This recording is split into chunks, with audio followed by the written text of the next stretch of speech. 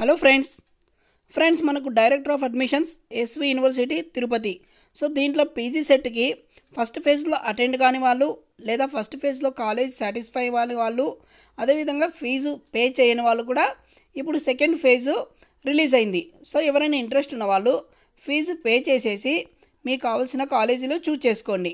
అదేవిధంగా కౌన్సిలింగ్ వెళ్ళి మీరు సర్టిఫికేట్ వెరిఫికేషన్ చేస్తే మీకు సీట్ అనేది అలాట్మెంట్ అవుతుంది. ఒకవేళ మీరు ఫీజు ఫస్ట్ పేజ్లో పే చేశారు.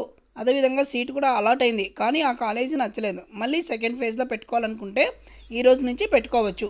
సో ఎవరైనా ఇంట్రెస్ట్ ఉన్న వాళ్ళు పెట్టుకోండి. ఇక దీనికి సంబంధించిన ఖాళీలు చూసినట్లయితే మనకి ఇక్కడ చూడొచ్చు SV SET P phase two vacancy position so మనకి ఖాళీలు ఎన్ని ఉన్నాయి ఎక్కడ ఉన్నాయి అనేది కూడా చూపిస్తుంది. ఏ సబ్జెక్ట్ పైన ఎన్ని ఖాళీలు ఉన్నాయని కూడా చూపిస్తుంది. ఇక్కడ చూడొచ్చు మనకి. So regular self finance payment sponsor so టోటల్గా ఎన్ని సీట్లని ఖాళీ ఉన్నాయి. ఇక్కడ చూడొచ్చు ఫస్ట్ కాలం మనము.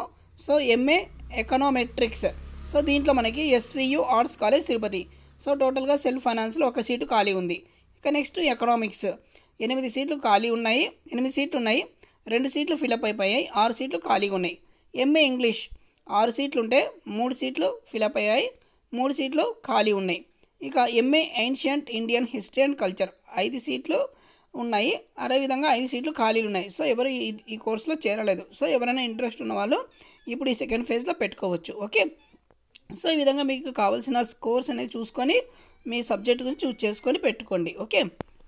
ఇక నెక్స్ట్ చూసినట్లయితే ఇక్కడ చూడొచ్చు. So web options enrolment phase two. So ఇక్కడ మనకి రిజిస్ట్రేషన్ నెంబరు మీ పాస్వర్డ్ అని అడుగుతుంది. సో మీకు రిజిస్ట్రేషన్ నెంబర్ అనేది అప్లై చేసినప్పుడు వస్తుంది. అదేవిధంగా మీరు చూజ్ చేసుకున్న పాస్వర్డ్ అనేది ఎంటర్ చేసేసి లాగిన్ చేసేస్తే మీ కాలేజీ లిస్ట్ అనేది చూపిస్తుంది. సో యూనివర్సిటీ లిస్ట్ అదేవిధంగా కాలేజీ లిస్ట్ చూపిస్తుంది. మీకు కావాల్సిన కోర్సుని చూజ్ చేసుకొని ఆప్షన్స్ సబ్మిట్ చేసుకోవచ్చు. ఓకే థ్యాంక్ యూ అండి.